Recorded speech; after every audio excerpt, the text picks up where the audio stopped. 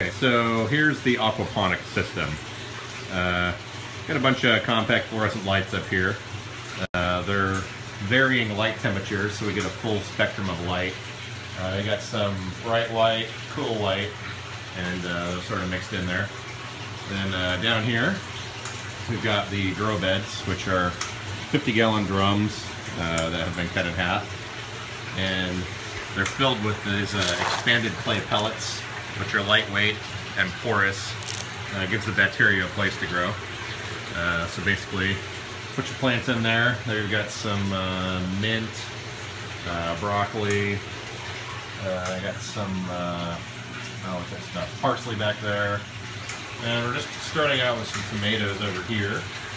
Um, then over here, we've got, what makes the whole thing work, a giant fish tank. And in here, we've got our fish. And the fish basically swim around in there. And uh,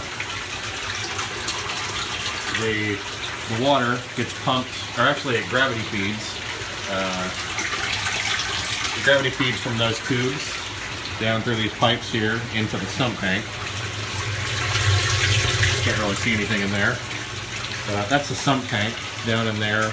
Um, I've got a big pump and uh, basically pumps water back out into the fish tank. And then there's another line that comes back in to relieve some pressure because it's a 3,000 gallon per hour pump, which is a little bit big.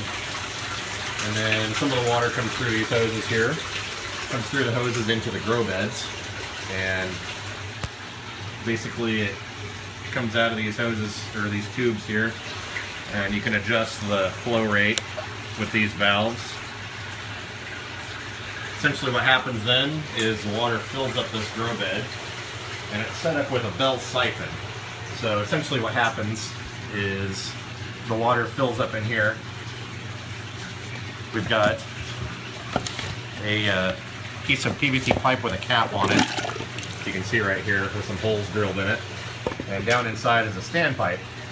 So when the water level reaches the top of that standpipe, the outside atmospheric pressure, since this is sealed, uh, basically pushes the water from that siphon and it comes all the way back down these hoses here and back into the uh, main sump tank. And uh, you can kind of see it draining there a little bit. So basically the plants take the water from the fish tank, which the fish have fertilized, pumps it through the plants, and that fertilizes the plants. The plants clean up the water, it gets dumped back into the tank, and the whole system circulates. And then also what I've added over here, I'm going to start growing some lettuce. I've added these long PVC tubes. You can see a tube way down on the back there. And what happens is water, as you can see, fills these up and they stay flooded most of the time. And then the water drains back down here. Whereas these fill and drain and fill and drain in probably about 15 minute cycles. And the idea is there that a lot of plants don't like their roots in water at all times. But lettuce does. So over here, I haven't gotten the baskets yet. I was trying with this one, um, but it's the wrong size.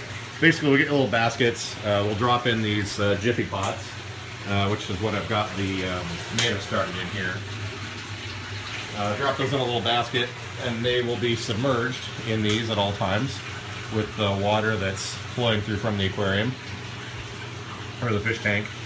And that provides all the nutrients and whatnot uh, for the plants that will be growing here. So I've just got two systems. I've got the flood and drain, good for pretty much everything. And then what would be similar to a raft system or fully submerged. And uh, I'm going to add on to these basically and build a big A-frame with a whole bunch of rows of them. Because you can grow uh, heads of lettuce at a pretty high rate of speed here. Uh, so yeah, basically a big 270 gallon tote uh, with fish in there, all the plumbing, lots of lighting, cords, and uh, all the lights are on a timer, or a couple of timers.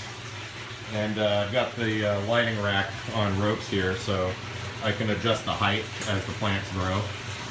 And they're on about 14 hour cycles uh, through the day, so lights stay on for 14 hours and they shut off a little while. So yeah, that's the uh, that's the basic system here. See the fish running around in there. got goldfish in there right now. They'll get 12 to 14 inches long. Uh, I'm going to be adding some tilapia uh, at some point. Uh, haven't done it yet, but oh and this is the automatic fish feeder here.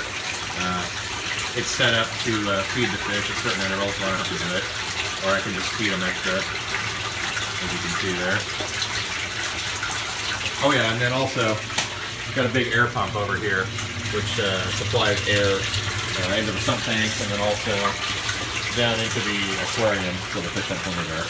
So there you go. There's a basic tour of the setup.